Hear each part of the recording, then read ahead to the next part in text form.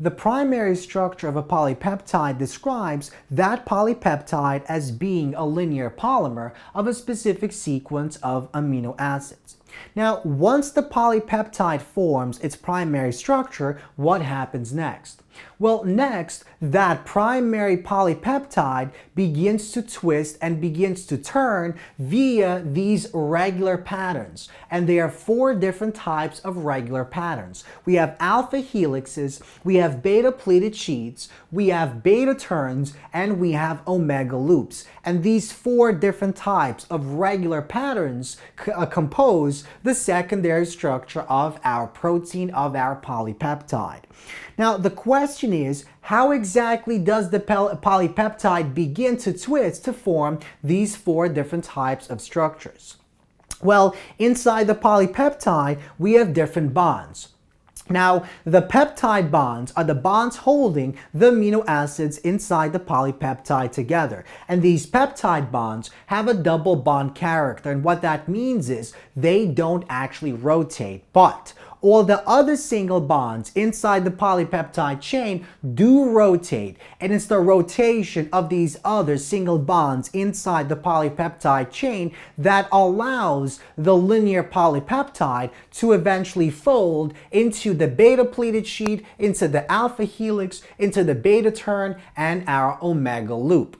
Now, once we form these regular patterns, the question is, what exactly stabilizes these structures and allows them to exist in the first place?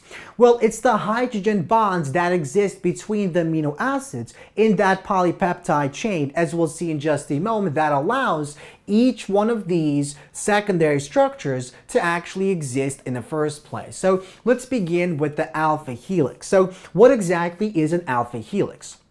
Well, an alpha helix is formed when we have our polypeptide chain and that polypeptide chain begins to twist to form a rod-like structure. And inside that rod-like structure, we have the backbone and on the outside, we have those R-chain groups that are pointing outside of that alpha helix. So the alpha helix is a rod-like structure as shown on the board that contains the backbone being in the inside of that helix helix and the side chain groups on the outer portion of that helix.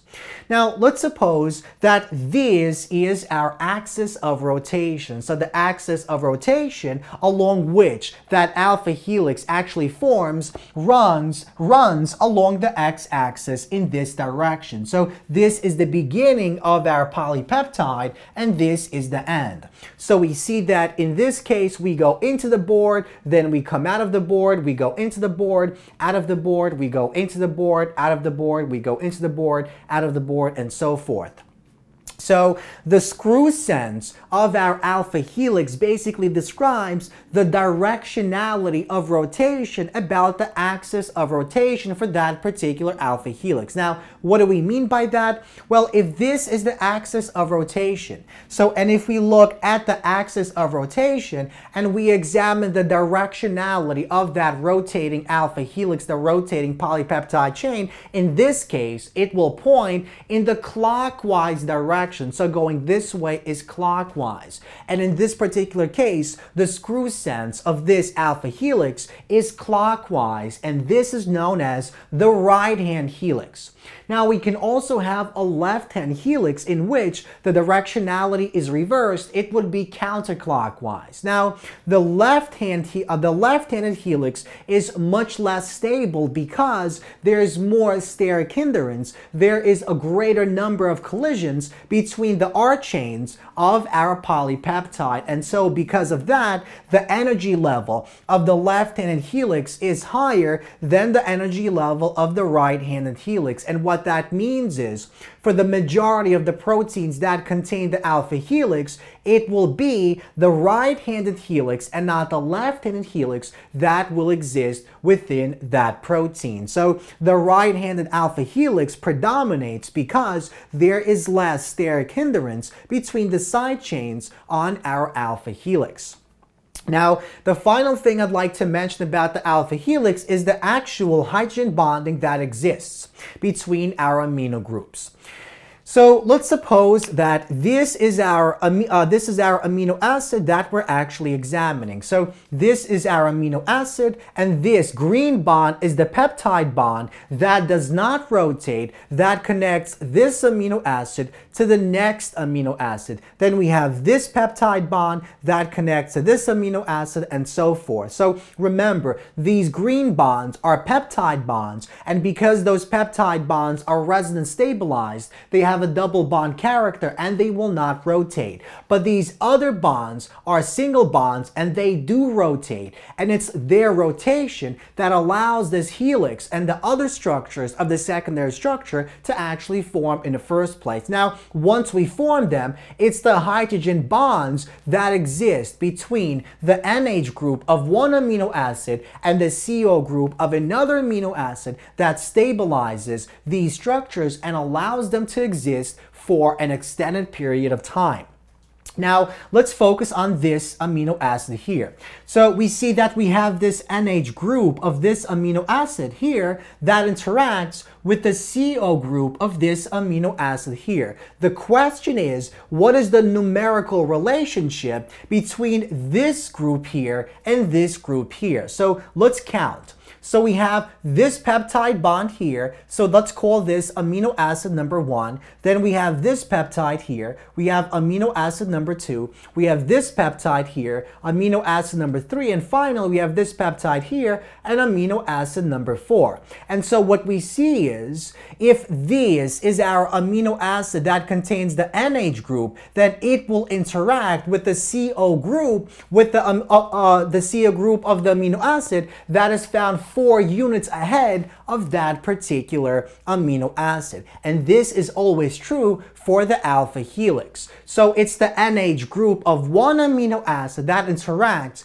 with the CO group of the amino acid that is found four units ahead of that amino acid. And the reason this takes place is because these are the groups that are found in closest proximity and are able to interact strongly. Now let's move on to the beta pleated sheets. We see that in the alpha helix, we, have we, we, uh, we have this helical directionality of our polypeptide. But in the beta pleated sheets, these polymers are linear. So the polypeptide is linear and they're basically stacked on top of one another. Now, just like in the helical case where we have two different types of alpha helixes, we have the right-handed and the left-handed, we also have two two types of beta pleated sheets. So we can have these two linear peptides or polypeptide chains uh, basically point in the opposite directions or they can point in the same direction. So anti-parallel directionality basically means they are stacked on top of one another but they point in opposite directions. And the parallel beta sheet basically means they're stacked on top of one another and they point in the same direction. So let's begin with the anti-parallel case and let's discuss how the bonding actually takes place within the anti-parallel beta pleated sheets. Now, because we essentially have one of these chains running in this direction and the other one is reversed, we see that these groups actually line up with one another perfectly. And what that means is, if we examine this amino acid here and this amino acid here, they're groups that are able to interact, line up perfectly. So we have this hydrogen accepting group that interacts with this hydrogen donating group on the other amino acid. And here we have this hydrogen donating group that interacts with this hydrogen accepting group of the other opposing amino acid. So in the anti-parallel beta sheets, we see that the NH and the CO groups of an amino acid on one strand interact with the CO and NH groups of the opposing amino acid on the other strand. So we have a one-to-one -one perfect interaction between our uh, groups on opposing amino acids.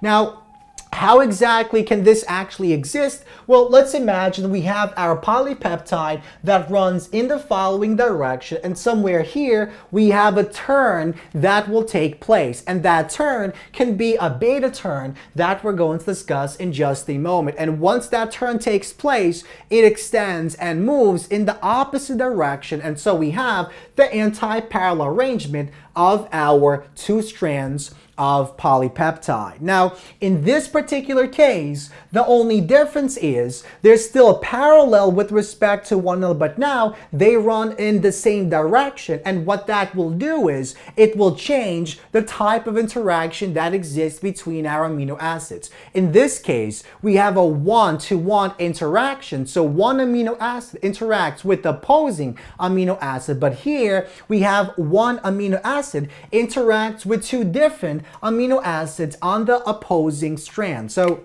let's call this amino acid number one, this let's call amino acid number two, and this amino acid number three. So we have the NH bond of amino acid number one interacts with the CO bond of amino acid two on the opposing strand, and the CO bond of this amino acid number one interacts with the NH a group of a different amino acid on that opposing strand, we call that amino acid 3. So in the parallel beta sheet, the adjacent strands run in the same direction and an amino acid on one strand connects to two amino acids on the opposing strand via the hydrogen bond. So we see that not only do we have these opposing directions, but because in this case we have the opposing directions, they they line up perfectly. But in this case, because they run in the same direction, they don't line up perfectly. And so we have this type of one-to-two interaction as opposed to one-to-one -one in this case. Now, the final type of secondary structure that I'd like to discuss are the beta turns. So what do we mean by beta turn and why do our polypeptides need to create these beta turns in the first place? Well, if we examine the three-dimensional structure of polypeptides, we'll see that the structure is very, very compact. And the compactness of that polypeptide is because the polypeptide is able to make many sharp turns as it conforms into that three-dimensional structure. And this ability to form these turns is known as beta turning, and these turns themselves are known as beta turns or reverse turns. So the compact nature of proteins is in part due to the polypeptide's ability to make these sudden turns known as the beta turns. Now, in the same way that the alpha helix and the beta pleated sheet are stabilized by hydrogen bonds, these abrupt turns are also stabilized by H bonds. And to see what we mean, let's take a look at the following diagram. So let's suppose we have a polypop, uh, polypeptide that runs, eventually turns in the following direction. So this is, let's say, the nth amino acid in our sequence. This is the N plus 1 amino acid. This is the N plus 2 amino acid. This is the N plus 3 amino acid, and so forth. Now, to actually stabilize the beta turn and to make sure that it is stabilized and exists for an extended period of time, we have to have a bond that forms between the CO group. So, wow, this is an H, not an N. So if we examine the nth amino acid, the CO group of the nth amino acid interacts with the NH group of the N plus 3 amino acid. And this is the hydrogen bond that stabilizes our beta turns. And these beta turns are usually found on the surface of that amino uh, of that polypeptide. And what that means is these R chains found on the beta turns are the one that interact with the polar nature, the polar solvents found outside our protein as well as with the molecules, the macromolecules that interact with our protein in general. So these are the different types of secondary structure that exist that make up our polypeptide.